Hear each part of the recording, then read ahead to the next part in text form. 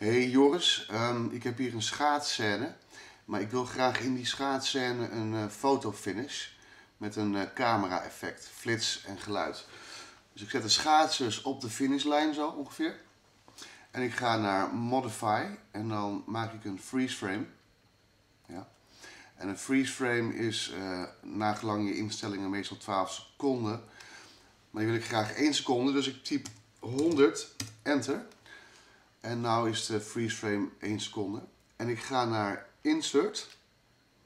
En hier wordt dan de uh, freeze frame uh, erin gezet. Ik ga nu met aan het begin van de freeze frame staan. Excuus. En ik ga naar effecten. En naar video transitions. En dan ga ik naar dissolve.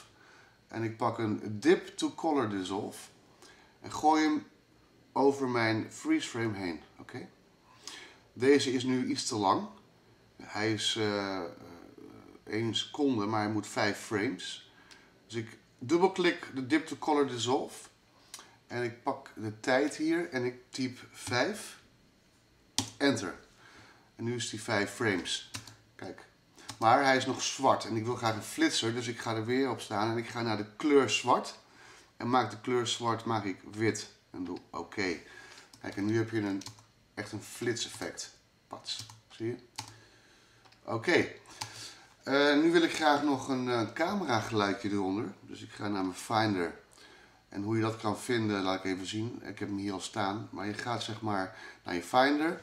En je doet appeltje F. En dan ga je naar soort is. En dan muziek.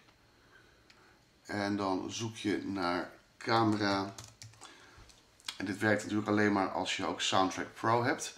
Kijk, en hier staat hij. Ja. En die sleep je zo, ik zet even de timeline goed, zo. En die sleep je dan precies zo onder je timeline. Pats. Even renderen. En dan moet je dit effect krijgen. Ja, het ziet er wel cool uit. Het ziet er wel leuk uit. Dus we komen zo aan en dan pats.